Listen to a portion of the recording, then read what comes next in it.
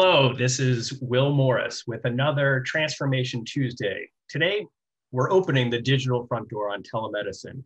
This is our two-part series on telemedicine, and last week we, or last uh, installment, uh, we discussed a lot of the powers of telemedicine. Today, we have a unbelievable um, panel, um, experts in a variety of fields, both uh, infrastructure, uh, care delivery, as well as other service incumbent providers, and then um, uh, uh, we have uh, uh Ann Mond Johnson, who is the CEO of the American uh, Telemedicine Association. So, so we have a really diverse uh, conversation, and so we hope to inform, inspire. please use the Q and A. Um, we do not have a prepared script. we will take this in the direction that it needs to go to address your questions around what best practices have emerged to really, really achieve optimal patient experience, optimal access, and care affordability um, in this telemedicine digital transformation. So I'll go ahead and um, I'll have the uh, individual panelists uh, introduce themselves and a little bit about their role, and then we'll get started. So first off, uh, Patrick Drewry is the uh, Vice President of Product of Revenue Cycle Management and Analytics and Artificial Intelligence at Change Healthcare. Um, Patrick, Sure. Uh, thank you. Nice, uh, nice to be here. Um, uh, thanks for having me. Um, so, um, uh, my background: 15 years in revenue cycle technology. Uh, right now, focused on um, our uh, analytics and AI strategy and revenue cycle at Change Healthcare, um, which encompasses um, you know use of traditional analytics to to maximize your revenue cycles efficiency, as well as using those analytics to help streamline uh, the digital patient experience. Um, so, um, and prior to, prior to my time at Change, I spent about a year with MD Live, um, you know, um, who's a, a launching their virtual primary care offering. Awesome. So we'll we'll make sure we uh, pepper Patrick with well, how does hospital systems or providers get paid and reimbursed in this new architecture? Um, next is Ann Mond Johnson. Uh, she is the CEO of the American uh, Telemedicine Association. Ann. Well, Thank you for having me. It's great to be here, and I, am looking forward to this panel and this discussion. Uh, the ATA, the American Telemedicine Association, today represents over 400 organizations that are committed to the vision that we want to ensure that people get care where and when they need it, that when they do, they know it's safe, effective, and appropriate while enabling clinicians to do more good for more people. And this has been quite a year for the ATA, quite a year for our members. Um, all of whom uh, have really responded to this crisis with incredible energy and innovation. So it's really a pleasure to speak on behalf of them. We really represent the voice of the industry, and it's very exciting to be a part of this. Fantastic. Uh, next, we have Dr. Geeta uh, uh, Nayyar, who is the General Manager of Healthcare and Life Sciences and the Executive Medical Director at Salesforce. Geeta, thank you so much for joining us. Thanks. Well, no, my, my privilege to be here in, in such company. I appreciate it. So joined Salesforce about, uh, about a year ago and gosh, what a humbling time to be thinking about digital engagement and, and the cloud, right? So I'm excited to see the acceleration of, of telemedicine, of digital engagement, of innovation in such historic times, but also very humbled by the many things going on in the world today and looking forward to the discussion. Thank you. Thank you. And last, uh, uh, Lea Sims is the practice leader in marketing strategy of healthcare, uh, insurance, and life science division uh, at Verizon. Uh, Lea, thank you for joining.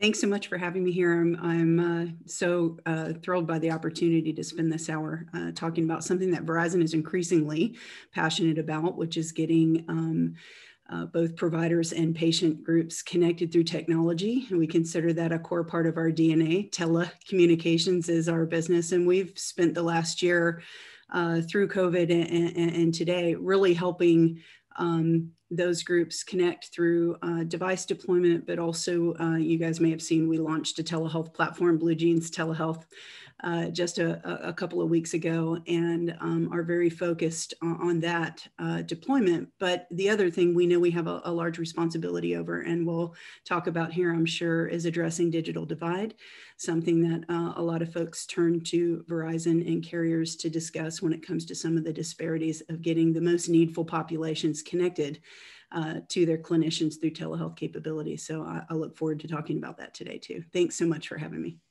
You're welcome. So let's start, I think, with foundation. And and um, you know, Ann, I, I, I wonder if you could help kick us off. And you said a, a, a quote that I'm going to steal, but um, I think it's relevant that out of this pandemic is not an opportunity, but an obligation. And I wonder if you could share a little bit about kind of what the ATA, I imagine your phone has been ringing and people are asking for help what are what have you been doing in terms of just core blocking and tackling kind of moving the needle to where we need to be?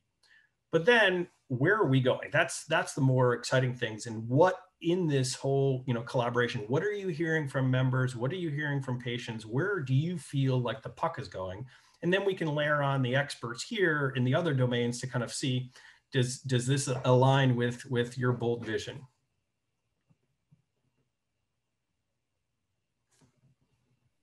I will take a shot at it. How about that? And um, for starters, I think it's always important to remember that the pandemic served to accelerate trends that were already in place. So when I reference the obligation, I'm really talking about the disparities that had been in place a long time ago and had been documented through things like the Dartmouth Atlas since the 1990s, where it showed that your um, healthcare was a function of where you lived. Your geographic, you know, your healthcare destiny was defined by your geography. And so what's happened in the last year, not just the acceleration of telehealth and not just the huge surge and use of it by both consumers and clinicians, and quite frankly, the acceptance of it on all sides, but also this incredible um, and important discussion at a national level about the racism that has been pre prevalent in the US for a long time and how the healthcare system has been unequal in terms of how it's serving Americans and, in fact, folks around the country or the globe. And so, what we talk about is the notion that there was never sufficient a number of clinicians to reach the population. There was insufficient quality or inadequate or inconsistent quality. And so when we talk about the obligation now, it's really under the guise that we want to help drive the use of technology, in particular telehealth, to mitigate these disparities that have been so exposed. I would say the other thing that we're doing as an association is really ensuring that telehealth is not a pandemic only tool and so that we don't revert back, that we don't go off the telehealth cliff. And, and everybody's aware of the waivers that were put in place during the public health emergency. But quite frankly, we have a lot to do to ensure that the waivers become permanent as much as possible, as much as feasible. Um, and then, you know, with all of that, drive what the new form delivery of care looks like. It's not all in person, it's not all virtual, it's not going to be that way. And so, what does that look like? Because historically, we had a bias um, around brick and mortar in the US healthcare system. And now we're really wanting to ensure that virtual, because it can bridge access, because it can close gaps in care, because it can ensure that more people get quality health care, how does that how does that look? What does that look like? And who's going to help inform that conversation? And we're clearly very committed to that as well. Lea, I wonder if you can, you know, I would imagine from Verizon, you know, out of this, you have two um, things emerging. Um, one is a workforce and a workforce that could work from home and enabling that, right? We need people to be employed and we need to ensure that employment is, is, is available to all Americans. And um, so one is what is Verizon's kind of obligation strategy? You know, the need to work from home, but the need for health at home and the ability to kind of provide those services, not to, to create the, the digital divide. Yeah, no, we're very focused on that. Um, in fact, when uh, the pandemic hit last year, we had um, our customers pivot to us in two strong ways. First, we spent a lot of time enabling workforces to move to home uh, and equipping them to do that um, from, you know, get, core capabilities to devices to connectivity, all of those things, because uh, folks needed to rapidly move their non essential but still essential uh, workforces to a home-based environment or really an anywhere environment. And our, our narrative has really changed over the last six months because we recognize that what was a work from home narrative last year is evolving to a work from anywhere narrative now. And I think um, people really uh, on both sides want um, want that flexibility and need the capabilities to do that.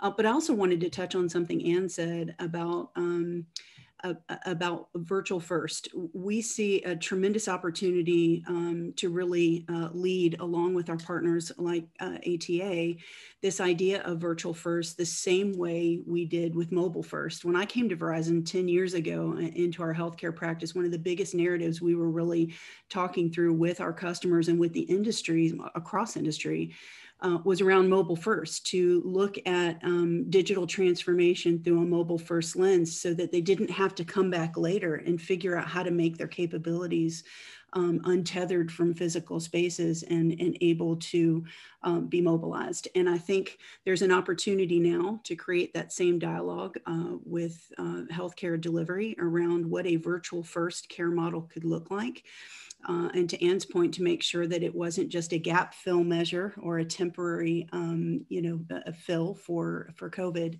but a new model for care and really looking at um, uh, virtual care convenience for contactless care when it's needed uh, for risk management. There's so many reasons why it's it's a great model. It's not going to fit every use case, um, but we're certainly talking to folks about um, thinking about their digital front door, which, you know, we've been talking about patient experience and digital front door long before COVID, but now it definitely needs to include a conversation around uh, telehealth as another digital front door to their practice. What does a hybrid clinical practice look like moving forward? What does the workforce need to look like to support that clinical practice uh, in that hybrid model moving forward? And that's where we're focusing our capabilities, our platform, and a lot of our time and energy around helping to build that connected hybrid ecosystem with care providers moving forward. That's it's exciting. I mean, I'm, you know, you hear about that momentum, and, and that is clearly the right thing. Well before the pandemic, we also talked about the need for personalized care, participatory care, you know, and preferences, and really thinking about the patient experience. You know, um, Geeta, you know, from a Salesforce perspective, obviously famously known as a, as a CRM. What is the role of this technology, this to, to kind of change the dialogue to allow us as providers, as physicians to really understand the wants, the desires, and the preferences for the patient? And then how do you see kind of telehealth kind of, you know, being a layer that that is teed up and, and, and tied into that framework? Sure. So, you know, it's really about personalizing the experience and, co- and connecting patients and doctors at the right time, the right place, and the way that consumers, you know, want to be interacted with, right? So it's, it's always the, the Amazon challenge, right? Don't just interact with me. Know that, you know, know I'm Dr. G, know what I like, and also anticipate, right? The, the prediction of it, right? If I'm going to miss an appointment, if I'm turning 40, although I'm not, right? You know, is it time for a mammogram and is it time to make that appointment? So I, I think it's it's all of those things. And to, to Ann and, and Lea's points, right? This this these were all things that were brewing in the industry, but they've been accelerated. And, and so from a Salesforce perspective, we feel really primed because we've done this in so many other industries, right? Healthcare is kind of catching up. So this is not new to us by any means. We've done this in many, many industries. Healthcare very much going through the digital transformation that retail, finance, um, hospitality, right? Everyone has gone through. So I, I, think it's time to really take some of those lessons learned, bring some new players to to the market because truly the legacy systems got us here and in part contributed to some of the dysfunction that we're seeing, but also got us, you know, from manual um, paper and things to a more more digital um, digital encounter. But we're at a place now where we need to scale. We see globally the population on its knees at different times in different parts of the country. And so a big part of this is just connecting patients and doctors at the right time and place, period. Absolutely. Uh, so all of this is is important, but no money, no mission in, in reimbursement and around two things. You know, Ann mentioned, you know, it's about aligning these resources and optimizing for that that successful win, but also to drive quality and outcomes and, and change, you know, rev, rev cycle is not just about you know money. It is usually the arbiter of quality and outcomes. You know um, patrick i wonder if you can kind of share you know how you see your function analytics um, and revenue cycle helping tell the story, the value proposition of this type of delivery, that it is care at scale, that it is, um, it can it can provide a parity product to in person, um, and sometimes actually provide superior care because of access. Yeah, thanks. And yeah, the revenue cycle is not not the sexiest part aspect of this by any means, but um, certainly an important one. Um, I think a couple of points there that I would make is in you know some of the other folks on the line um, have made around um, the digital front door, this being a new access point, and so some of the trends that we saw, um, you know, as uh, adoption uh, spiked and really increased is that some of those revenue cycle best practices uh, like financial clearance and really you know um, uh, you know eligibility screening and things of uh, these natures were really foregone. Um, it's a totally different dynamic where um, in a traditional setting you have multiple touch points with a patient and some in-person interactions leading up to that that point of care where you can do all of those things on uh, working with the patient on their behalf. Whereas virtual care, quite often it's it's at the click of a button or on demand. And there's this expectation of a um, very e-commerce like experience um, where a lot of the revenue cycle practices went out the door. And I think that's why you saw, um, uh, you know, I think very early on a spike in denials related to, to telehealth services, which ultimately is a provider dissatisfier for sure. But then, um, you know, you have patients questioning why were my services denied? Why do I have to pick up, you know, the cost of this bill? Um, I think you know the other points of impact as you see wider adoption. Um, anytime you see a shift in your in your services and your service mix and payer mix, um, uh, particularly ones that are uh, perceived to be uh, you know um, sort of lower cost. So telehealth has this um, pers perspective that it can be care delivered on, at, at a lower cost, um, which we don't know if that's necessarily true or not um, but it was reimbursed that way. And so um, very early on, you saw uh, a lot of uh, increase in visits, but that per uh, uh, visit fee that people were getting was a fraction of what they would traditionally get. And so, um, you know, you know, good things went into place, like you know, parity measures and things like that, that were were temporary holdover. But those are things that really need to be considered as you say permanently evaluate, you know, where you feel like your telehealth volumes will will sit because if you know if there's going to be continued price pressure on those services over time um, you need to evaluate you know where you sort of make up for that um, lost revenue um, in your in your broader revenue cycle. And i think the last point that i would make to your question around um, outcomes and so this is really where it starts to get to be a blend between revenue cycle and population health which is um, and somebody else mentioned this virtual first um, you know approach uh, which is telehealth is a really great tool uh, to use to get to get to the patient right? You know so there's so many challenges with patients actually showing up um, i think you know to the physical appointment. And so this gives you a better shot of actually connecting with that patient. Uh, once you connect with that patient you have a better shot of getting them to adhere to, to kind of prescriptions adhere to you know uh, referral you know uh, referrals and things of that nature. And so those will ultimately um, lead to more preventive health uh, along the lines, which leads to greater um, uh, cost, you know, outcomes and health outcomes down the road. Yeah, and I, I mean, because uh, you oft, oftentimes, I'm sure you hear that common refrain of of you know it should be paid less because it's not the same, and, and and to me, it's apples and orange. It is a tool, but it's a different tool, and it should be you know leveraged in a different model and schema. So uh, you know, applaud the ATA for just an amazing job educating educating folks. I think that's the number one thing in, in driving payment parity and legislation. But how, how do we continue the dialogue and prevent slippage? But but you know also not just automate a broken process, not just say, you know what, today I was going to have an E&M and now I'm going to have a virtual E&M. How, how do we actually shift the mindset that this tool should also be considered in different ways, populations, different caregivers other than MDs, nurses, pharmacists? How do we continue kind of this this opportunity to innovate the care that we provide, not just the technology. Well, I think it's important to remember that what we're doing is that we are delivering care, that we're not here to deliver technology. Mm. The technology is the means to the end. And I think somewhat related to that is if you ask Geeta, I think 15 minutes or 20 minutes of her time is worth the same amount, regardless of how, what modality she chooses to deploy that in. So when we hear comments about somehow telehealth should always be less expensive, there's an investment that goes on and there's an investment in the platforms and the technology.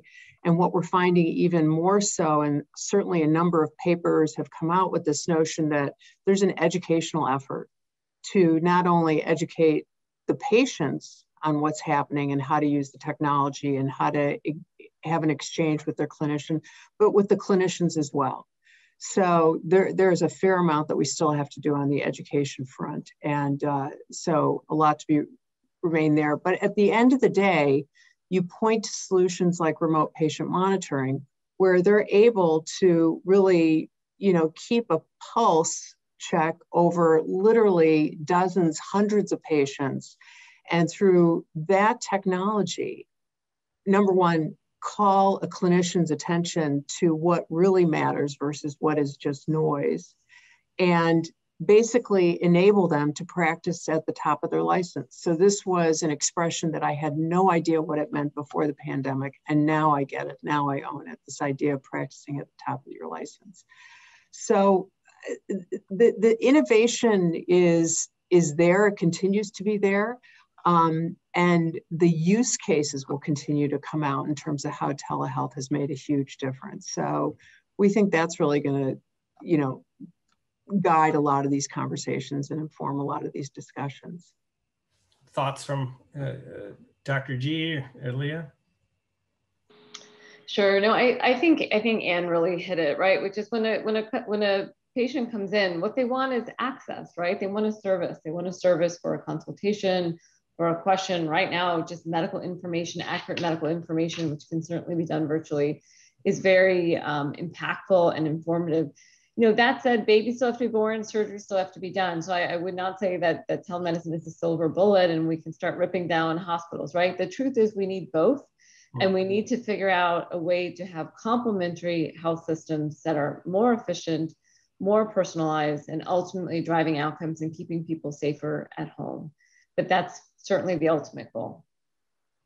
I was going to say too, we have a, um, a, a, virtual care advisory group of clinicians that's been advising us um, for the last year or so as we've been developing our platform and really thinking about our connected health strategy. And one of the things they're very quick to remind us is that the, the period of time that the patient is on with the physician is not the sum total of the visit. Um, there's been a, a, lot of advice they've given around uh, what that visit should look like um, from check in to check out and how the patient is cared for by other care team members uh, as part of that process and whether complete replication of an on-site visit is really you know the, the goal of virtual care um, but to Ann's point, I think the more we see uh, RPM integration uh, evolve and as uh, telehealth capabilities mature, the more parity I think you'll begin to see between what's provided to a patient in office versus what can happen, you know, in a visit. It's more than just the conversation with their physician.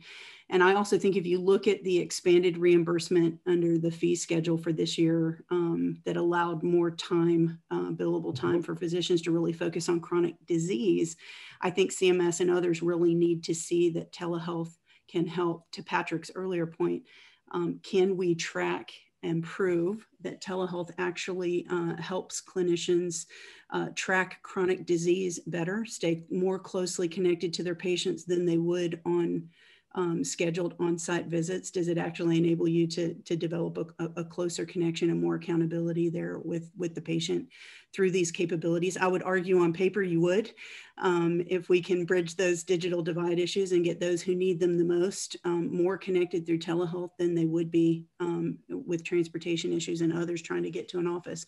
So I think that the data is there, but I think there are some proof points that still need, you know, some care and attention over time, right? And that, that we'll be watching and others to say, yeah, it's it's actually improving our ability to monitor monitor and care for those with chronic diseases. Um, and you know that that warms people, I think, to more uh, of the uh, parity of reimbursement hmm. versus you know um, you know, telehealth just being a quick conversation and, and not reimbursable at the same rate. Again, I think the more we augment that experience to include those other assessments and the other ways that we care for a patient in an office visit, um, the more, the closer to parity, I think we'll see that get from um, a care and reimbursement status. Absolutely. So, so we had a, a good question uh, from from the audience was, around the, the, chronic disease management and one of the cornerstones being um, remote patient monitoring. And the question was, how do we deal with not just health literacy, but technical literacy? And does that have a risk of furthering divides? So, so how do we approach this? What are kind of the magical turnkey solution that you, you just plug it in and it works to more pragmatic, you know, um, you know, solutions, whether it be the Geek Squad at home doing the full install, like what works, what's not ready for prime time, and and what's the opportunity? Where's the the the, the white space? Sure, I'm, I'm happy to take a first step. First of all, the geek squad in my house is my nine-year-old, so way more than me and dad. She's she's just on it, which is which is in it, which in itself, right, is the next generation of, of physicians, next generation of, of uh, patients, nurses, et cetera. So I think number one, um, infrastructure is undeniable. Again, we keep seeing this globally uh, as we go through the pandemic. So infrastructure has to be an investment, hands down. Secondly, you know, I'm a big believer in intuitive technologies, right? And then the training of that is obviously you have to make an investment in the infrastructure and the training. But if you actually build technologies that are intuitive and don't require so much upkeep, if you will, and again, as generations get more and more savvy and are you know, living in a world where everything is digital, I, I think the the curve really really gets gets smaller, right, in terms of getting folks up to where they need to. But you know, I would say those are the the number two kind of things that that I think are impactful. Yeah, and I would just like but to just, say it's not just the patients. Uh, I want to say the providers too. We see this try to get them to install a you know chrome extension or a browser extension and you might as well just you know unplug the computer. But yeah there's there's both sides. But you know well i'm going to give you the flip side of that right? Because as docs we get we get a bad rap in health tech right? There's always this ah, that stupid doctor is getting in the way of the of the EHR, right? How about that EHR is getting in the way of the doctor, right? Because the reality is we never had to be trained how to use a stethoscope, an MRI, a CT scanner we docs we love technology. We love innovations. Give us the latest and greatest study in r&d we're there. We're all about curing cancer getting to the end of this pandemic. Look what we do with this vaccine right? So i want to give our docs a big shout out. I you listen I, I, I, don't have to that'll be our next next month's conversation about clickbox medicine and you know. Exactly. We got to raise the bar on the technology. Yeah. that's really what it is is the I technology. like got to work with the doctors, not against the doctors. That's the problem. That's fundamentally. I'd say nursing has it a little bit worse than, than we do, but yes. All right, sorry, Patrick, you were uh, about to, to yeah, and I'm not going to touch that conversation. Um, we can uh, talk about but uh, human factors engineering, to, EHR. Patrick, go. no, the two. So the two approaches regarding remote, remote patient monitoring that I would that I would highlight and just add on there. And first of all, you know, agree with the sentiment uh, of the question and the risk of introducing remote patient monitoring, and then there's risk in you know furthering the divide on some of the the, the factors of um, determinants of care and, and all of those those types of issues. But I think the way that I've seen um, remote patient monitoring sort of tactics that were successful is two ways one, um, trying to harness the consumer devices that are already pretty pervasively used. So, so really avoid um, a, a healthcare specific device strategy unless unless it's like a very chronic condition where you know kind of that sort of investment and, and very focused attention on a patient population makes sense. But if you're trying to do it for a broad array of different types of, of patients, um, seeing what um, Epic or not Epic, uh, I, uh, Apple, Google, those consumer device companies are doing through the devices that everybody knows how to use. Um, uh, there's been a lot of advancements in smartwatches, smartphones, et cetera. Um, the second thing that I would point to that I think somebody has uh, you know uh, called attention to before is is telehealth. You know, it doesn't have to be this huge shift all the way to the other side where it's entirely virtual. You can start to create um, so leverage remote patient monitoring technology in a physical setting that is that is uh, supported by somebody skilled in the skilled in the use of that technology. And so um, if there's hybrid models where you can deploy, I think the, the models that I saw were um, where you deployed clinics on site at a large employer, for example, mm-hmm. um, where they would be a trained uh, nurse or a trained you know support agent that would be sitting there, and then people would stop by the booth, um, get their health, know, their biometrics measured, and then they would go about their day. Um, you know, those are the ways that you can start to bridge some of the challenges with getting a device in the mail and figuring out what do I do with it, um, um, and then ultimately just not following up. So, so we have a, a lively audience, uh, which I really appreciate. So please keep on uh, asking questions. Um, so, and, and actually both of them are one through the lens of the patient, one's through the lens of the clinicians. And for the patient is, you know, my patient, uh, my parents are in the late uh, uh, 70s, 80s, and they feel like they're talking to a TV. Um, and they don't see any credibility in the process. How do you see us engaging them better?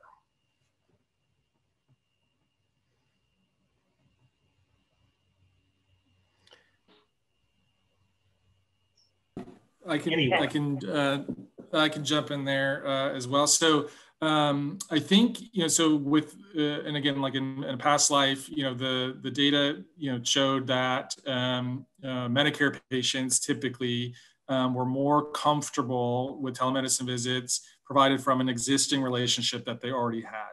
And so I think that is you know um, you're more than likely you know need to follow that hybrid model of an in-person care plus um, use it as a supplement to that to that care in order to establish the credibility of that in-person um, relationship with your physician. But then also when there's just a, a touch point needed uh, leverage telehealth so that um, uh, the physician can can access access you as the patient um, without requiring you to come into into the doctor's office. Um, the other thing to just you know call out which is um, it's it's heavily marketed telemedicine is as this um, you know I think FaceTime with doctors, right? Um, but it's uh, 80% of 90% uh, of the visits that we saw at MD Live were you know were telephone, um, and so. Uh, you don't have to just talk into a screen. You don't have to do anything you're uncomfortable with. Um, you you you know it's at the end of the day it's you know picking up a phone and um, and hopefully talking to somebody you've established that trust with And, and Dr. G, I wonder from your practice, uh, uh, I can speak from my experience, and I've sort of heard this anecdotally, or maybe Ann, you actually have the data. Um, it's funny, you know, when I'm on uh, with a patient via uh, telepresence, I'm looking at them, or at least there's a perception that I'm looking at them. I have my information, I have their their picture, and the camera is in line of field of view, right? Um, as opposed to what they normally see is this while I'm playing the human interface trying to keep up with and we won't go down that rabbit hole but keep up with the record. Um, i'm curious if you, if you had positive examples where there is you know back to that credibility that you actually see me and there's is a little bit more of a connection despite it being done over an electron. Yeah you got it. I mean i, I think there's there's probably just like in-person visits there's there's good webside manner, there's bad webside manner, right? And our patients have received both of those, both of them during the pandemic. We'll, we'll start with the good, right? We'll leave with the good. We'll always. So the oh. good is, to your point, we're actually looking patients more in the eye than we did before, because in an in-office visit, to your point, we're doing paperwork, we're doing documenting, we're, we're doing six different things. The, the video visit kind of forces. It's like calling our family, right? You're not calling them um, to to talk to them like this right? You just wouldn't call them if you're busy, essentially. So it really forces you to have the eye time. That said, we talked about training, right? A lot of our docs are not used to this, and particularly on mobile devices, what's happening is we're get, we're getting a lot of, you know, we're getting a lot of this, we're getting a lot of um, nose hair. You know, it's it's it takes time to sort of understand that angles matter, lighting matters, and we're all also learning this in the Zoom world, right? I've I've often had this situation with my light and my, you know, so it's so it's taken a little bit of time to, to get up to snuff. I would say it's not rocket science, and our docs are more than capable of doing it. Um, I do want to comment on what Patrick said, which is when you know when our clinic went uh, virtual for a bit at the beginning of the pandemic, and I work with medical students at the University of Miami. You know, I remember this one patient. The medical student kept trying to get the virtual visit set up, and it must have been like five minutes and 10 minutes and 20 minutes. And I was back to back, and I was like, you know, what's going on? And, and she's like, well, there's this, he's having an internet problem. He's not able, you know, keep getting him on the line for a second and then he drops. And the whole time she's talking to him on the phone. And I said, could you just hand me the phone? We don't we don't need the video component. Like he's here for a BP check. And I'm like, what's his blood pressures? What's he taking? What so we did the whole thing, but I just remember there was this pause because the medical student was like, well, we're doing telemedicine. How can we possibly do that without the video? And I'm like, he's not physically here. I'm not physically there. Boom, that's telemedicine, right? So the phone remains the number one underutilized resource. And to Ann's point, you know, the technology will unite, we could care less, right? Are we able to take care of our patients quickly, efficiently answer their questions. And when you do that for a patient, I will tell you they are a believer and they will never come into your office unless they are having a baby or need a procedure or surgery.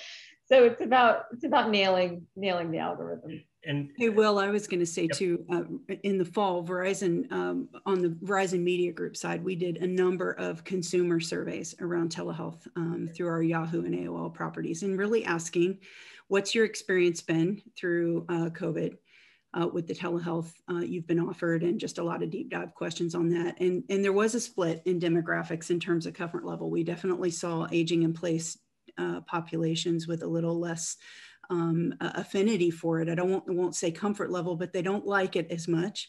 Uh, and when we asked them to give us a little more feedback about that, what it really comes down to, I think, in a lot of instances, is uh, what Patrick said about it being the equivalent of a FaceTime call or a phone call.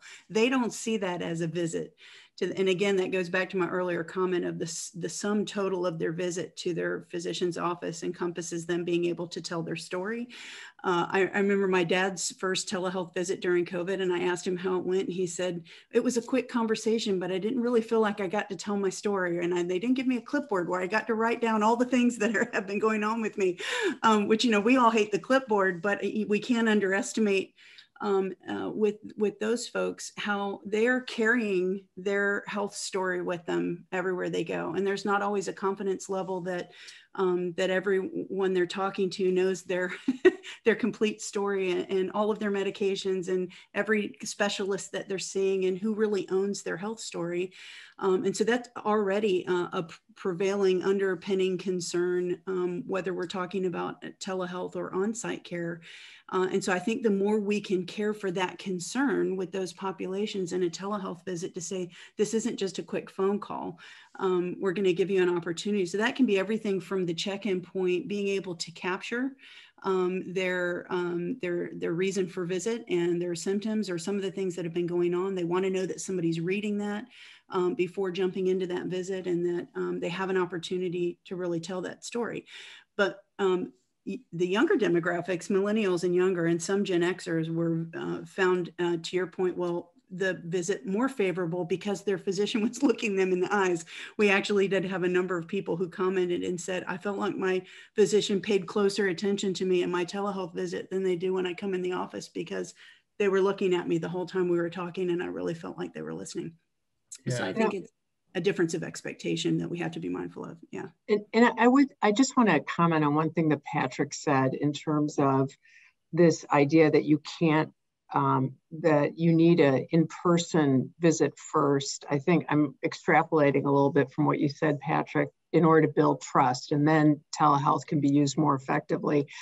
I the, the resistance I have to that is because the surveys results are variable, even with older Americans. And depending on how it's done, you can build very effective relationships. And they don't have to start with an in person interaction in order to make that happen. And so we really resist this notion that you need the in person in order to start the relationship because it just sets a bad precedent. And we think that deployed correctly and deployed well, you can engage people through their story or through their interaction so that you're building trust from the onset, from the get go. And I, I, I couldn't agree more. It's never a generalization. That's our most dangerous thing when we have these, you know, headlines. I would use the, the secondary pandemic of, of mental health, you know, patients who are scared, you know, maybe even just COVID, but other things, they are agoraphobic, they're, they're frightened. You know, what an opportunity to actually build a relationship in a patient who we wouldn't know anything about them otherwise. And I think uh, you know these are the unknown unknowns. These these new white space opportunities that um, we need to tell these stories more. Um, we have a couple other questions or around like education and how do we avoid physician burnout using telemedicine.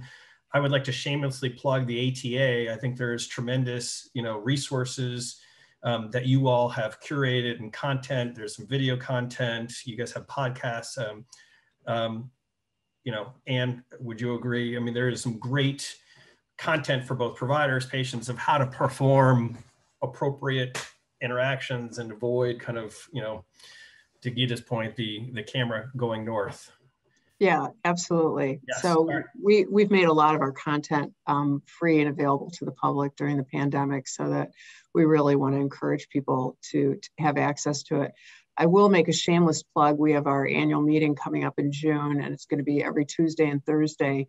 And we do have sessions on clinical clinician resilience. Um, Christopher Sharp who's a physician at Stanford, and Peter Yellowlees, who's a psychiatrist at UC Davis, both big proponents on how telehealth can really not only provide value to the patient, but also really reduce the burnout element as well so we have two other kind of questions I'm going to lump because it, and, and, perhaps it, it, ties to the technology, but it's also empowering. Um, one is around, uh, you know, nursing home visits and the ability to also auscultate. So thinking about technology is not just what we hear, but um, heart sounds, even rhythm strips, even, um, you know, you know, baby fetal heart heart rates as well as just the simple act of multimodality interaction, right? Sharing test results, having a shared conversation, if you will, around uh, uh, around a piece of paper or an image. Um, a lot of questions on where are we? Know, one uh, comment was, is this an evolutionary dead end? Or do we see that the tech is going to get there where we are going to be able to gain, you know, physical strengths like that we would normally have in the in the in the in-person visit, but maybe even superpowers. Um, you know, achieving uh, uh, insights that we otherwise wouldn't have in the normal office visit. Um, comments? I would just say I think a lot of the technology is there. It's the interoperability we have to solve for, uh, the integration of those capabilities. Um, you know, when you look at RPM, there's there's some great RPM devices out there today that do all of those things, auscultation uh, and, and, similar. Um, but it's getting those um, plugged in. It's solving for the, um, the, the distribution and management of those devices and the reimbursement of them. Um, we talk to health systems around RPM management. One of the big challenges is that they have they have patients in multiple RPM trials, and they're usually you know pro, provider driven, so practice driven, and they they're they're not necessarily centrally managed within a health system. So you can have hundreds of RPM trials going on with you know almost as many rpm providers and there's not a central place where that's you know where that's being managed. It's sort of in a one-off fashion. So the integration of all of that and then being able to surface that data in a meaningful way to support clinical conversations um, and, and, integrate those with telehealth is another challenge. You know, we're talking to our customers, customers about that in two buckets what they need in terms of pre-assessment vitals for a, a, telehealth visit and how much those can be replicated. And then what about all of the other uh, chronic disease management RPM clinical trials that they uh, that they're conducting? Um, and without exception, our, our advisors, our clinical advisors tell us we would love to have that RPM data from those clinical trials surfaced in a telehealth visit so we could talk through the trend data um, that we're seeing or the alerts that we're getting from those third party um, data monitoring services, but right now that capability doesn't exist. I think a lot of people are trying to solve for it, but it's very complex. The ecosystem of RPM, there's so much potential, but it's the interoperability and the integration challenges I think um, we're all trying to solve for and figure out the best models. And there may not be one size fits all model. Uh, there's probably going to be several of them that sort of bubble up to the top. But I don't think it's a dead end evolution, but I definitely think it's an evolution. It's something that's going to take time to solve for. Yeah, and it's definitely so. The, I agree, the capability is there, um, but right now the challenge we're facing, like change, we change is actively trying to to impact this uh, the interoperability aspect as well as on the analytics side. You have so much data to present to both the provider and the patient but it's overwhelming. And so uh, providers are data driven people, but they're still people and it's overwhelming uh, when you present them with that information. And patients, you know, uh, can be data driven or not, and you need to help them make sense of the information as well. So, you know, when you talk about um, uh, analytics and, and the things that we're, you know, we're, we can do in the industry, it's one, how do we capture the data, which I think there's there's um, a lot of data to be captured now and then two, the big challenge that we face um, in the industry is then how do you make sense of it for the person that you're presenting it to? We hear the word dashboards more than we did five or 10 years ago. But when everyone was talking about big data, we want the data or we want actionable information, which was everyone's favorite phrase. And now we hear, no, we need a dashboard. We need it meaningfully extrapolated and presented how I need it, when I need it, because clinicians don't have time to go um, you know, dig for all of that at the point of care. So yeah, dashboards are a big conversation now, I think, for everyone.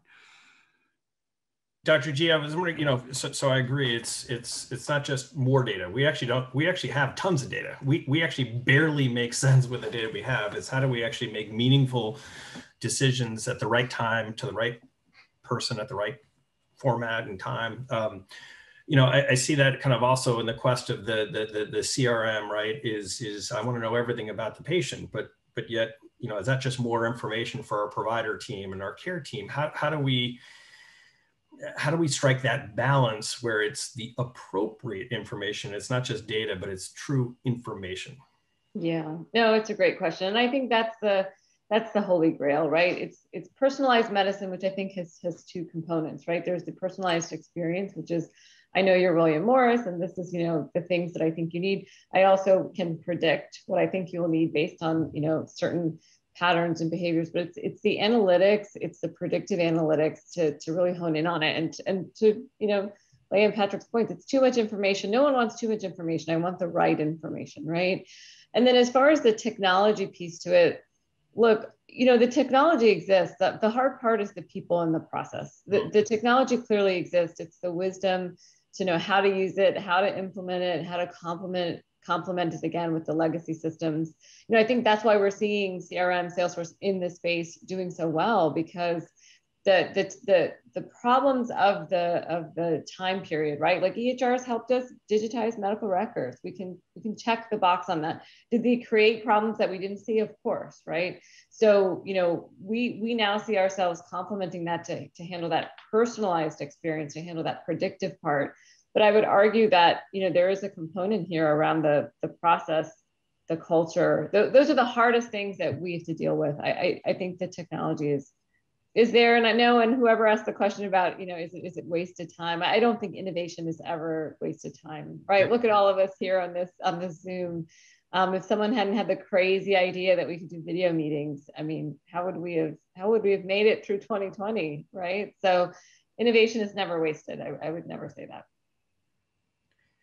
and you know from you know is this a common theme that you're hearing from your your, your members is you know we see the opportunity we see payment period all of the stuff in line but we're you know our eyes are wide open of saying god you know interoperability how do i navigate? How do i choose the right sphygmometer or the next magical widget? And how do we avoid spending you know capital out the wazoo on chasing widgets? And then on the flip side is how do we prevent the overwhelming saturation of our patients where their time is is valuable too? And we need them to get vaccinated get a colonoscopy do all the right things uh, you know a list of other things.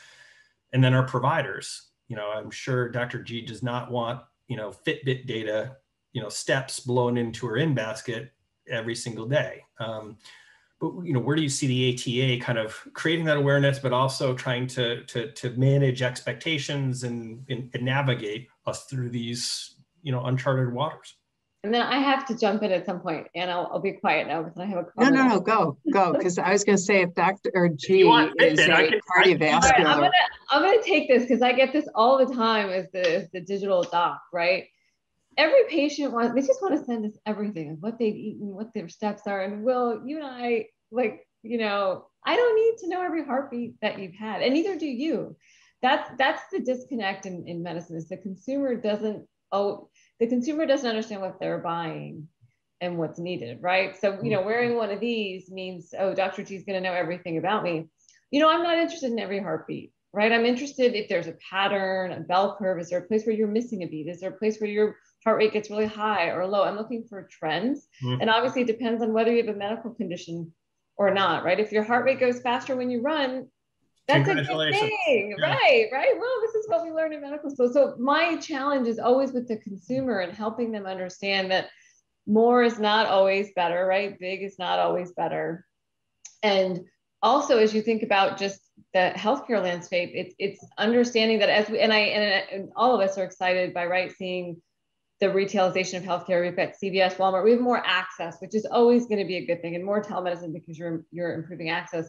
But consumers still don't understand the difference when they see someone like me or Dr. Morris, right? You're not going to find a rheumatologist at CVS Minute Clinic, not anytime soon.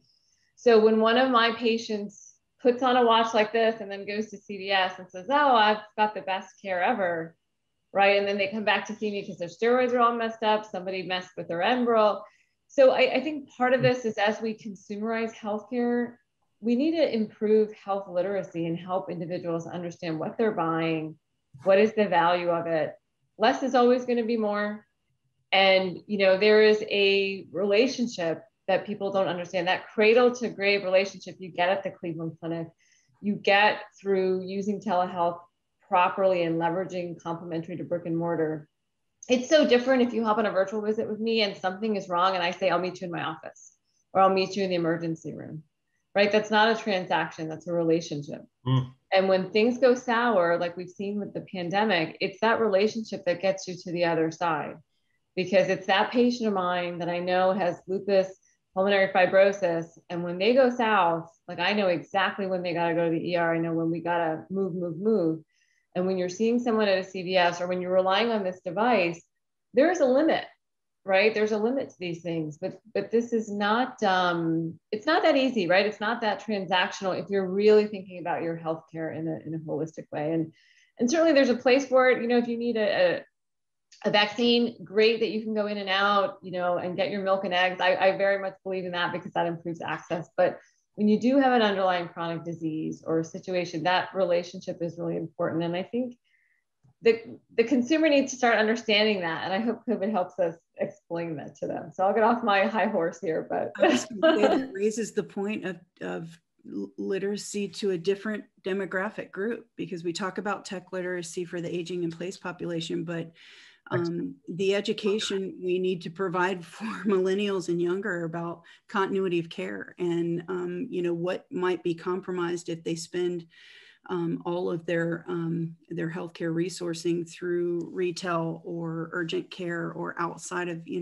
know the traditional traditional linear and longitudinal care of a primary care physician. When we surveyed, most of the folks who were um, millennial or younger who responded to our surveys don't have a primary care physician and don't intend to have one, and that's a, a, a huge shift. That also, to your point, Dr. G, I think needs some focus of education so that there's you know, not something lost um, that will have to be cared for 15, 20 years from now with those patients when um, they don't have, um, you know, that, that connection to a health system and to um, a, a, coordinating provider that's really looking at their longitudinal care. I think that's a, a risk that needs to be addressed too, for sure.